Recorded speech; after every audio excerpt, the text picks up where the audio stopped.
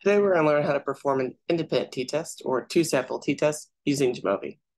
In 1899, biologist Herman Bumpus presented a comparison of numerical characteristics of house sparrows that were collected after an uncommonly severe storm, and he recorded whether they survived or did not survive from their injuries.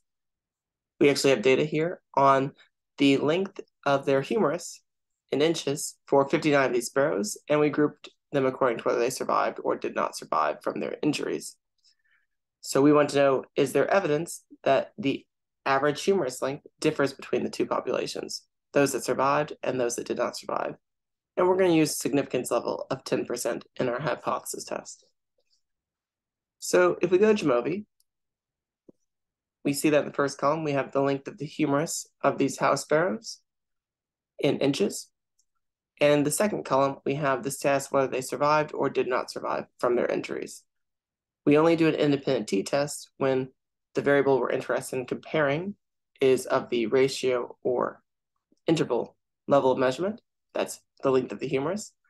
And we have two groups of individuals that are not connected. The ones that survived and the ones that did not survive. To run the t-test, we click on t-test and we click on independent samples t-test. The variable we're comparing is the humerus length, and the status is whether they survived or did not survive. And we see we get a p-value of 8%. So this is a statistically significant result. We are convinced there is a difference in the average humerus length of the sparrows that survived versus those that did not survive.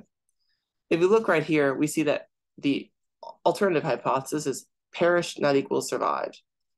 So what that means when they compute the test statistic right here is that they took the average length of those that perished minus the average length of those sparrows' humeruses that survived, and it was negative, indicating that the mean length of the humerus of sparrows that died was shorter than the mean length of the sparrows that survived in our sample.